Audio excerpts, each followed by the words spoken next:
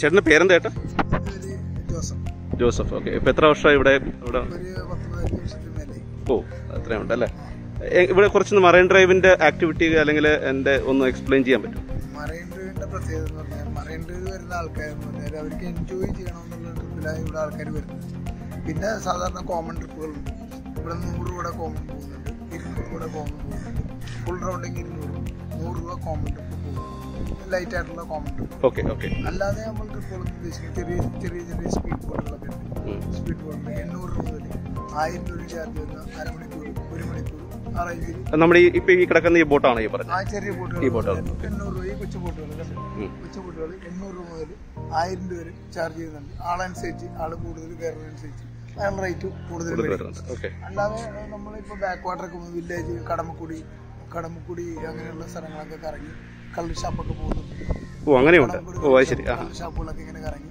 അവിടെ ജസ്റ്റ് ഇറങ്ങി ആൾക്കാർക്ക് ഫുഡ് ഫാമിലി ആയിട്ടാലും നമ്മുടെ ബാച്ചിലേഴ്സിനായാലും ഫുഡ് കഴിച്ച് അവിടെ നിന്ന് കയറി നമുക്ക് ഇഷ്ടപ്പെട്ട ഫുഡുകളൊക്കെ കിട്ടും ഞണ്ടൊരുത്തിയത് അതുപോലെ തന്നെ ചെമ്മീൻ റോസ്റ്റ് മീൻ വറുത്തത് പുളിയിട്ട എരിവ് ഇട്ട മീൻ കറികൾ നല്ല ചെറിയ കള്ള് കുടിക്കുന്ന ആൾക്കാരുണ്ട് കള്ള് കുടിക്കാത്ത ആൾക്കാരുണ്ട്. ആ കള്ള് ഷാപ്പിൽ നമുക്ക് എൻജോയ് ചെയ്യാം. എൻജോയ് ചെയ്യാം. ജസ്റ്റ് ഇറങ്ങുന്ന ആൾക്കാർ ഇറങ്ങും. അല്ലെങ്കിൽ ആൾക്കാർ അവിടെ നിന്ന് കുടിച്ചിട്ട് കയറും അല്ലെങ്കിൽ ഫുഡ് കഴിച്ചിട്ട് കയറും ചില ആൾക്കാർ കള്ളുപിടിക്കാത്ത ആൾക്കാരുണ്ട് കള്ളുപിടിക്കുന്ന ആൾക്കാരുണ്ട്. അത് സ്വാഭാവികം.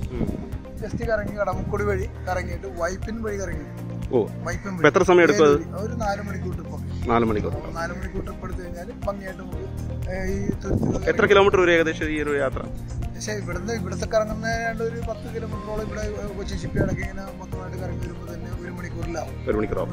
ഇത് വില്ലേജുകൾ ഇറങ്ങുമ്പോൾ വില്ലേജിന് ടൈമില്ല ടൈമില്ല. കാരണം നമ്മൾ ജസ്റ്റ് ആ കാണുകയാണ് കാണുക. കാഴ്ചകൾ കണ്ട് നാല് മണിക്കൂർ ടൈമിൽ സ്ലോവിൽ ഓടും.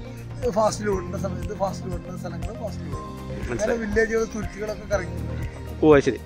ശരിക്കും ആലപ്പുഴയിലും കുറച്ചും ബെറ്റർ ആയിട്ട് ഇവിടെ ചെയ്യാവുന്ന ഏരിയകൾ ഇഷ്ടംപോലെ ഉണ്ട്. ആ ഓക്കെ മനസ്സിലായി. നമ്മുടെ വൈപ്പിൻ ഭാഗം അങ്ങോട്ട് പോകും. ഭാഗത്തോട്ട് പോകും. പക്ഷെ മുളകാട് വേറൊരു സ്ഥലമാണ് മുളകാട് സൈഡിൽ ഒരുപാട് സ്ഥലങ്ങൾ ചുറ്റി വരാം. പക്ഷെ അവിടെ ആഴം കുറവാണ്. ഓ ശരി. ആഴത്തിന്റെ കുറവ് കാരണമാണ് കുറെ ബോട്ടുകൾക്ക് അങ്ങോട്ടും ഇങ്ങോട്ടും പാസ് ചെയ്യാൻ പറ്റാത്തത്. ഓ ശരി. ഈ ആഴം ഉണ്ടെങ്കിൽ നമ്മൾ ആലപ്പുഴ ഉപേക്ഷിച്ച് കൊച്ചിയിൽ ഭയങ്കര സൈറ്റ് സീൻ നടക്കും ഭയങ്കര ഹൗസ് ബോട്ടുകളും കാര്യങ്ങളൊക്കെ. നമ്മുടെ നമ്മൾ സർക്കാർ ഒന്ന് ശ്രദ്ധിക്കണമെന്ന് ശ്രദ്ധിച്ചു കഴിഞ്ഞാൽ നല്ല ഒരുപാട് ടൂറിസം ഡെവലപ്പ് ചെയ്യാൻ വാട്ടർ മെട്രോ വരുമ്പോൾ അതിനകത്ത് വ്യത്യാസം വരുമോ വാട്ടർ മെട്രോ എന്ന് പറയുമ്പോൾ വാട്ടർ മെട്രോ രാജ്യത്തിന് സമർപ്പിക്കുന്ന ഒരു സംഭവം രാജ്യത്തിന് നിങ്ങളുടെ പ്രതീക്ഷ എന്താണ്? വാട്ടർ മെട്രോ വരുമ്പോൾ വാട്ടർ മെട്രോ എന്ന് പറയുമ്പോൾ വാട്ടർ മെട്രോയിൽ നമുക്ക് ചെയ്യാവുന്ന ആൾക്കാർക്ക് ചെറുകിട വീടുകൾ ഉള്ള സ്ഥലങ്ങളിലാണ് ഈ വാട്ടർ മെട്രോന്റെ ജെട്ടികൾ വന്നേക്കുന്നത് അവിടെ കൂടുതൽ ആൾക്കാർ ജനവാസ മേഖല ഉണ്ടെങ്കിലും. അവിടെ പരിസരത്തുള്ള ആൾക്കാർ മെട്രോയിൽ കയറാൻ സാധിക്കും അതിന്റെ അപ്പുറത്തോട്ട് എടുക്കുന്ന ആൾക്കാർക്ക് ഈ വഴികൾ മെട്രോ എടുത്തെടുക്കുന്ന വഴികളെല്ലാം വളരെ വീതി കുറഞ്ഞ വഴികളാണ് കയറുന്ന വഴികളുണ്ട് വീതി കുറഞ്ഞ രണ്ട് വണ്ടികൾ പാസ് ചെയ്താലും ഈ ആൾക്കാർ ഇപ്പോൾ ഓടി എത്തി ബൈക്കിന് വന്നിട്ട് വരാനും. അവിടെയുള്ള പരിസരവാസികൾക്കും മറ്റും ഓക്കെ ആ പരിസരവാസികൾക്ക് ജസ്റ്റ് പരിസരവാസികൾ. പുറത്തുനിന്ന് ഒരാൾ വന്നെങ്കിൽ ഇവിടുന്ന് ടൂറിസ്റ്റ് മേഖലയിൽ പോകുന്ന ആൾക്കാർ ജസ്റ്റ് അവിടെ ഇറങ്ങിയിട്ട് അവർക്ക് അവിടെ രാജ്യങ്ങളുടെ സൗകര്യങ്ങളും സൗകര്യങ്ങളൊക്കെ ഉണ്ടെങ്കിൽ ടൂറിസ്റ്റ് ആൾക്കാർ കയറാൻ തയ്യാറാണ്. അല്ല ജസ്റ്റ് ഇറങ്ങിയിട്ട് ജസ്റ്റ് ഇങ്ങനെ വന്ന് ഒരു പ്രാവശ്യം കയറുന്നത് മെട്രോ എന്ന് ഒരു പ്രാവശ്യം കയറുന്നത് അത് അപ്പോൾ അപ്പം പിന്നെ അപേക്ഷിക്കുന്ന പ്രൈവറ്റ് കൂട്ടുകാരെ അപേക്ഷിക്കും ഉം.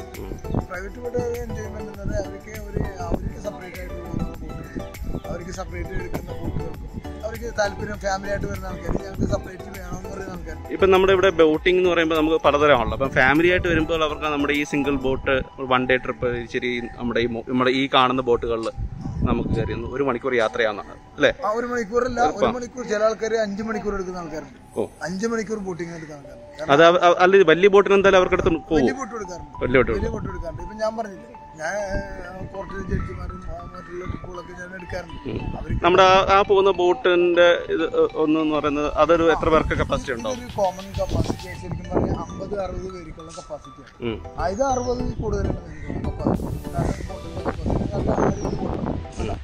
സൂപ്പർ അപ്പർ ഡെക്ക് അതെ നല്ല നീ നല്ല നീറ്റ് ആയിട്ട് ബാത്റൂം ഫെസിലിറ്റി അതുപോലെ എല്ലാവരും ട്രീറ്റ് ചെയ്യാനുള്ള സൗണ്ട് സിസ്റ്റം കാര്യങ്ങൾ എൻജോയ്മെന്റ് ഉണ്ട്. ഇങ്ങനെയുള്ള ബോട്ടുകൾ സെപ്പറേറ്റഡ് സെപ്പറേറ്റ് സെപ്പറേറ്റഡ് പോകും കാരണം നമ്മൾ എത്ര ബോട്ട് കാണിച്ചാലും ചില ആൾക്കാർ ആ ബോട്ട് മതി എന്ന് പറയും. ചില ആൾക്കാർ ഇത് ഇത് മതി എന്ന് പറയും.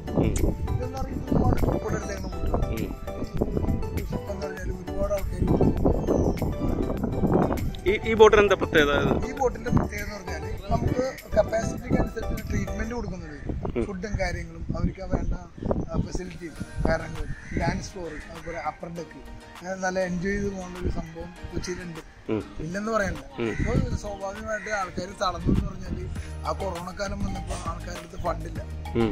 ഫണ്ടുകൾ ആദ്യം ലാപ്സായി കാരണം വെച്ചാൽ വെറുതെ ബോട്ട് കെട്ടി കിടന്ന് മെയിന്റെയിൻ ചെയ്ത് സ്റ്റാർട്ട് ചെയ്ത് ഒരു ദിവസം സ്റ്റാർട്ട് ചെയ്യുമ്പോൾ തന്നെ ഒന്നില്ലെങ്കിൽ രണ്ട് ബാറ്ററി ചാർജ് ഇറങ്ങി അത് റിപ്പയർ ചെയ്യുന്ന കാര്യം എന്ന് പറഞ്ഞാൽ എല്ലാ ദിവസവും ജോലിക്കാരനെ നിർത്തിയിട്ട് മെയിന്റെയിൻ ചെയ്യാൻ പ്രൈവറ്റുകാരനെ പറ്റില്ല അപ്പം നമുക്ക് ഈ ഈ ബോട്ടുണ്ട് ഈ പറയുന്ന നമ്മൾ സാധാ ബോട്ടുണ്ട് പിന്നെ നമ്മൾ നേരത്തെ കണ്ട കുറച്ചുകൂടെ നല്ല ഹൈടെക് ആയിട്ട് പുതിയ ബോട്ട്സുകൾ വന്നിട്ടുണ്ട്. അതിനകത്ത് ഡി ജെയും മറ്റു കാര്യങ്ങളും സെറ്റ് ചെയ്തിട്ടുണ്ട്. നിങ്ങൾക്ക് പ്രൈവറ്റ് ആയിട്ട് വിളിച്ചുകൊണ്ട് പോകാം ഒരു മുപ്പത് നാൽപ്പത് പേർക്ക് അതിനകത്തുള്ളൊരു കപ്പാസിറ്റി അമ്പത് പേര് പേര് കയറും അല്ലേ? പിന്നെ അമ്പത് ഇവിടെ നൂറ്റമ്പത് പേര് ബോട്ടുണ്ട് ക്ലാസിക് ക്രൂസിന്റെ കടലിലോട്ട് പോകുന്ന